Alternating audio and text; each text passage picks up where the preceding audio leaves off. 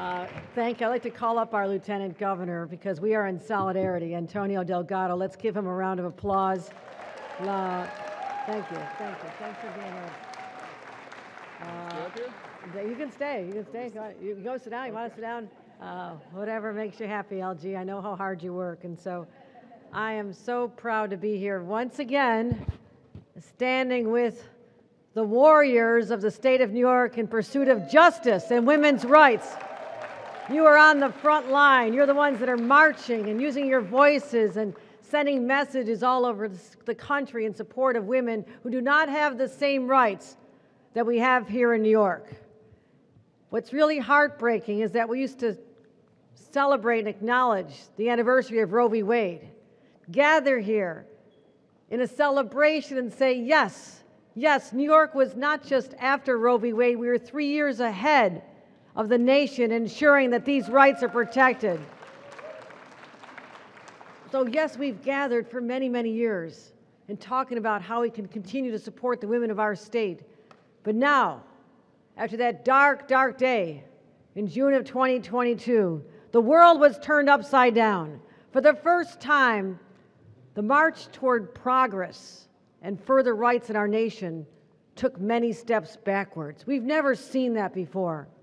And we didn't just take that, we stood up. We gathered together. And I want to thank the leaders of the legislature, our Majority Leader Andrea Stewart Cousins and Carl Heastie, our Speaker, for banding together with their conferences, coming together and saying that we will make sure that every woman in New York knows that her rights are protected now and forever. That is without question. We put money toward our health care providers, $35 million, to help abortion providers be able to handle the influx of more people coming from other states.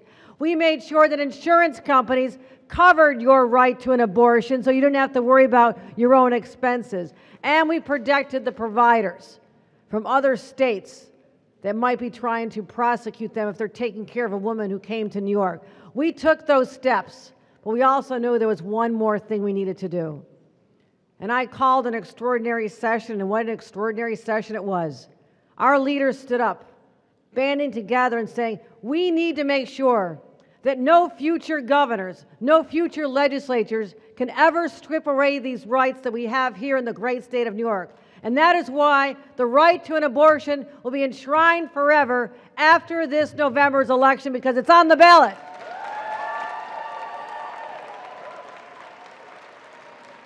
And I have called on the governors of other states to do the same.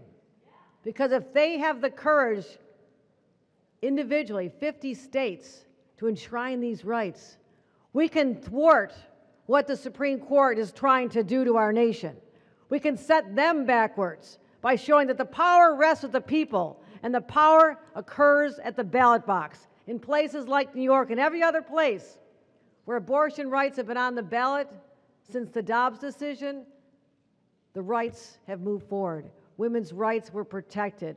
The voters selected the right to an abortion for women, and it is now enshrined in their Constitution. That's what we want to make sure happens all across the nation. So we'll stand up. We'll continue to march. We'll be their allies and make sure that we are protected here in New York, but also be there for our sisters across the nation, like little Katie Cox, a 31 year old mom trying to have her third child.